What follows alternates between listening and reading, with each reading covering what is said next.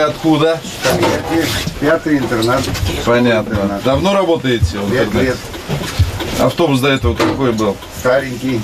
Ну, ну сколько лет старенький? И вот, Не, был. Сколько старенький? 11 лет. 11 лет. да, Все, время пришло э, для замены.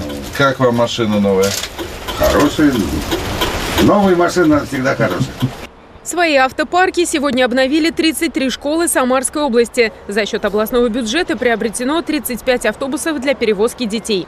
Ключи руководителям образовательных округов, в которых находятся учебные заведения, передал губернатор Дмитрий Азаров. Эти автобусы, я уверен, порадуют детей и порадуют, конечно, родителей и педагогов, которые будут чувствовать, что детки находятся в надежном, современном, новом автотранспорте, с удовольствием на нем двигаются в школу и, конечно, с удовольствием из школы будут ехать на таких автобусах домой.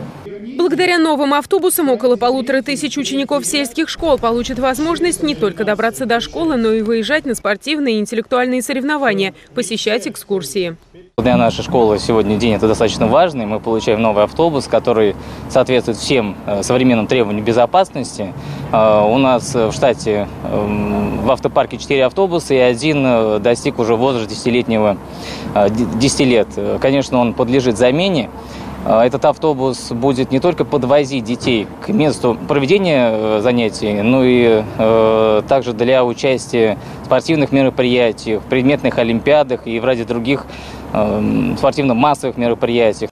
Владимир Мухин водителем школьного автобуса трудится много лет. Говорит, за эти годы сменил не одну машину. Работать за рулем современных автобусов – одно удовольствие. Все они оснащены тахографами и терминалами ГЛОНАСС.